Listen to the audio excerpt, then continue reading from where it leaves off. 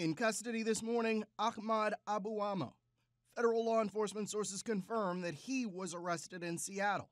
Ali Alzabarah, who is a Saudi citizen, is said to have fled the U.S.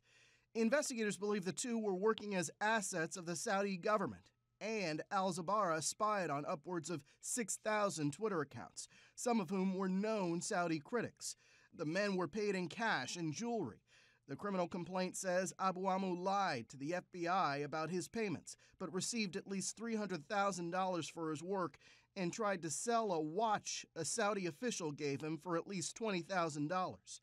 Abouammo and Alzabarah are accused of working with a Saudi official connected to the family of the country's leader, Mohammed bin Salman. The Washington Post reports one of the accounts they allegedly targeted belonged to a dissident who later became close to Jamal Khashoggi, the Saudi critic and Washington Post columnist who was murdered last year. U.S. intelligence believes bin Salman ordered the killing, which he denies.